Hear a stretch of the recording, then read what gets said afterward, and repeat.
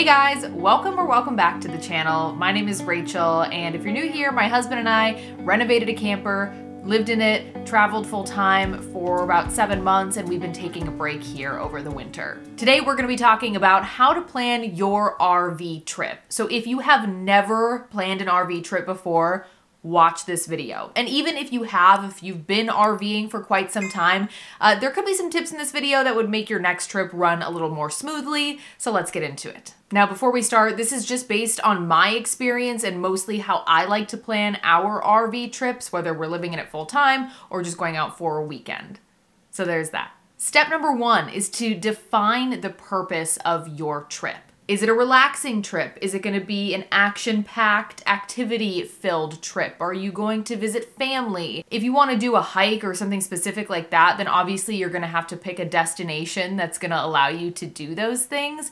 And if you just want like a relaxing trip where you're not out really doing much of anything other than just hanging out at the campground, then that's going to open up some different types of destinations as well. So that's why I say define the purpose of your trip first before you even figure out a destination. So that obviously brings me to step number two. That is to figure out where you are going. Obviously, you can't plan much without knowing where you're going. Maybe you already have a destination in mind. Say you know you have to be in I don't know, Fort Collins, Colorado on this particular date and you want to camp. So that helps you out there. But maybe this is your first time RVing, you're renting a camper, and you're just trying to figure out where to go. I wouldn't plan on going too far if that is the case. Maybe just find somewhere a couple hours away, a general destination that you know, okay, there are some activities to do there. Watch YouTube videos about that area, read travel blogs, all that kind of stuff, and obviously look at a map. Once you figure out where you are going, step number three is to pick a campground. There is so much to consider when picking a campground. It can be one of the most time consuming parts of planning your RV trip in certain scenarios, I should say. So, for example, uh, a lot of this depends on the type of rig that you have and what your needs are going to be for this RV trip. Do you have solar on your rig? If not, are you going to need electrical hookups? Even if you have solar, is there going to be enough sun in this location that you're picking out? Are you going to need full hookups, water and sewer? All of those types of considerations. And that is why I like to use apps when uh, choosing a campground because you can filter campgrounds by those specific needs. So I like to use Campendium, the Dyrt. There are a lot of other types that are uh, similar to that. I'll make sure that I drop all my recommendations down below in the description. I've talked about this in previous videos, but even once I find a campground in one of these apps that looks like it's a good fit for our rig, our particular needs, what we want to get out of the trip, I'll still go to that campground's website and do some more digging. Do I need a reservation? Um, do they have first come, first serve sites? Is it a state park? Is it on national forest land? It's just not a one size fits all scenario when choosing a campground. So that's why I say it can be a pretty time consuming process. And step number four, I guess this could be 3.5, but we're to call it step number four find a backup campground or campsite. We have been in so many situations where our number one choice or even our number two choice, both of those have been gone. Have a backup, at least one backup in the area that you know you'll be able to get to if your first choice something falls through. And I say that even if you have a reservation and you think, okay, I'm locked in, no issues are going to come up you just never know. You could get to that campground and maybe it's not what you expected. Something is just not fitting your overall vision for this trip and you want to move. I just always recommend knowing what other uh, campgrounds or campsites are in the area just in case. Okay, so once you know where you're going, where you're staying, that is a huge part of the process. The next thing to do, step number five, is to plan your route. So when you're RVing, it's often not as simple as just typing in your destination and relying on the GPS. You're gonna wanna make sure that the roads that you're taking, the route that you're taking, is RV friendly. Now, if you're on the interstate or, you know, a major highway, chances are you'll be just fine. Um, but if you're in a mountainous area or on I don't know, any kind of back roads. There could be a situation where your RV is not equipped for those roads. We've been there before. Now, some apps do have features that are usually paid features that allow you to um, plan your route and you can find a route that is suitable for your rig. We actually don't use that. What I like to do, maybe we should use that, but what I like to do is just um, do a little more research. Once we find a route, I look at it, I see, okay, are there any mountain passes or back roads or anything like that that we need to be aware of? Is there an alternate route? And I'll even like type in, can I tow my RV over whatever route?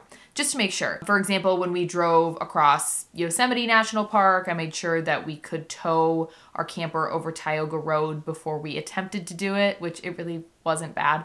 Um, yes, you can bring an RV over Tioga Road. There have been other situations like we were in Vermont and were we in, yeah, we were in Vermont in the fall and we ended up on some road that was um, not meant for RVs. We'll leave it at that. We got ourselves into kind of a sketchy situation. So plan your route. Um, do your best to make sure that it's going to be a good fit for your rig's capabilities. Step number six is to plan your activities. This is pretty self-explanatory. One thing I will throw out there is just like tent camping, things tend to move a little more slowly when you're camping in an RV. We typically like to pick one main activity if we're, you know, camping on the weekends, one main activity for the day and then some sub activities that we can fit in as we go. Step number 7 is to plan your meals, which also sounds pretty self-explanatory, but there are, once again, more things to consider when you're meal prepping or cooking in an RV. Say you're getting to your campsite on a Friday and you think, oh, perfect, we'll get there, we'll get set up, we'll make some burgers and a salad or some potatoes on the fire or the grill or whatever. Um, okay, that sounds fine, but what happens if you get there and your site is more difficult to back into than you initially expected and it takes a long time and you can't get level and you're rushing to get set up before it's dark outside and before you know it it's like after 8 o'clock and you haven't eaten and you're cranky and you just want something fast. Can you tell that i've been there before more than once or twice? Keep things simple or at least have a simple backup to the meals that you plan on prepping. Also, some other things to consider what's your refrigeration situation going to be? Uh, are you going to have a cooler? Are you going to use the refrigerator in the RV? And that brings me to the next step. Step number eight stock up on supplies. Um, and I'm not just talking about like little things like batteries, flashlights, cooking utensils.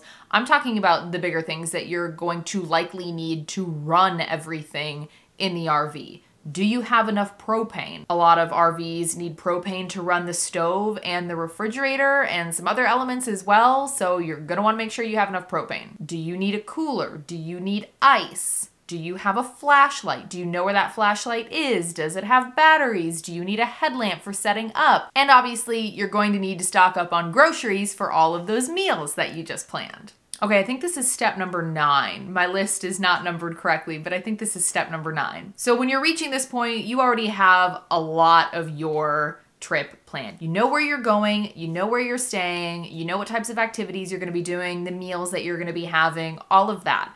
Now, step number nine is to figure out what is in the area that you're gonna be staying in. And I don't mean activities, I mean like is there a grocery store nearby? Uh, where is the closest gas station if we need gas or needs to stock up on supplies? Is there a decent sized town in the area? Um, I mean, even not to bring the mood down, but where's the closest hospital if something were to go wrong?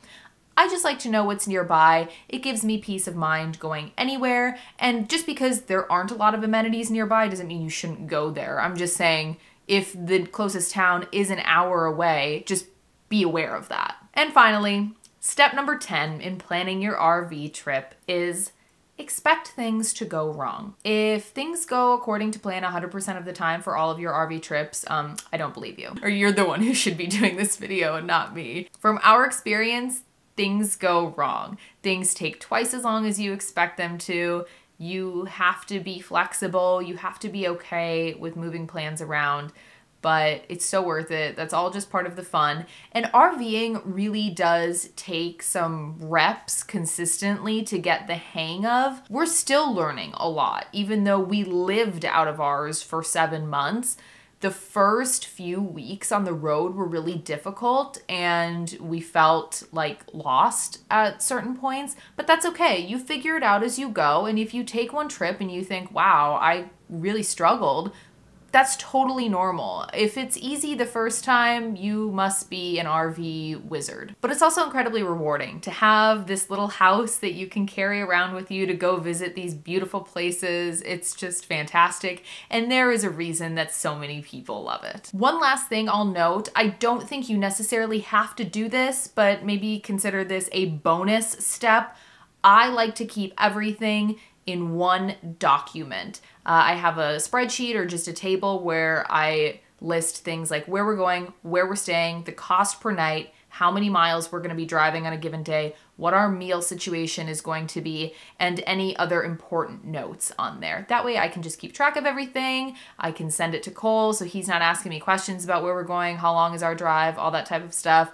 And um, it just helps me stay organized. So I would suggest doing that as well. You don't have to do a spreadsheet. I mean, you can literally just have all this stuff in a note on your phone, but just having a record of all of those details somewhere is a big help. I hope this video is somewhat helpful for you guys, whether you're just thinking about the idea of RVing or you've been on a couple trips and you're looking for just some other tips. Uh, drop a comment down below. Let me know what you think. Give this video a like. Subscribe to our channel if you haven't already. Right now, I am putting out at least one long form video per week, usually on Mondays, and that's in addition to YouTube Shorts, which I've been putting out more consistently as well, and that will continue to be the case as we get deeper into 2023.